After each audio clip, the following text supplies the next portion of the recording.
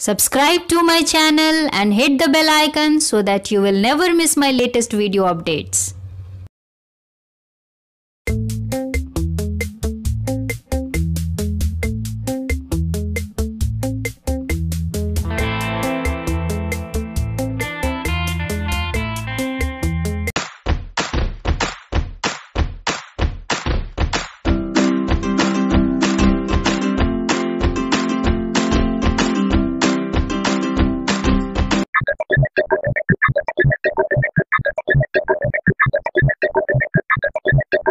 An antimicrobial is an agent that kills microorganisms or inhibits their growth.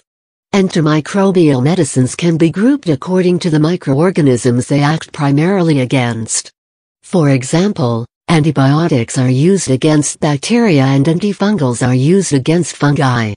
They can also be classified according to their function. Agents that kill microbes are called microbicidal, while those that merely inhibit their growth are called biostatic.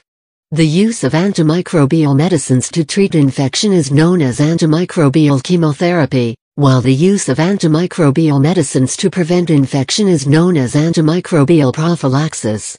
The main classes of antimicrobial agents are disinfectants, non-selective antimicrobials, such as bleach, which kill a wide range of microbes on non-living surfaces to prevent the spread of illness, antiseptics, which are applied to living tissue and help reduce infection during surgery, and antibiotics, which destroy microorganisms within the body. The term antibiotic originally described only those formulations derived from living organisms, but is now also applied to synthetic antimicrobials, such as the sulfonamides, or fluoroquinolones. The term also used to be restricted to antibacterials and is often used as a synonym for them by medical professionals and in medical literature, but its context has broadened to include all antimicrobials. Antibacterial agents can be further subdivided into bactericidal agents, which kill bacteria, and bacteriostatic agents, which slow down or stall bacterial growth. Use of substances with antimicrobial properties is known to have been common practice for at least 2,000 years. Ancient Egyptians and ancient Greeks used specific molds and plant extracts to treat infection. More recently, microbiologists such as Louis Pasteur and Jules François Joubert observed antagonism between some bacteria and discussed the merits of controlling these interactions in medicine.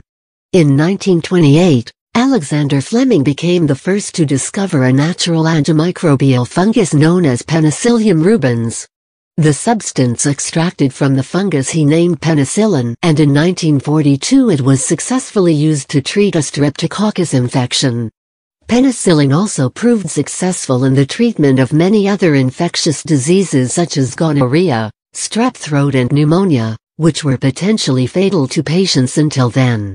Many antimicrobial agents exist, for use against a wide range of infectious diseases.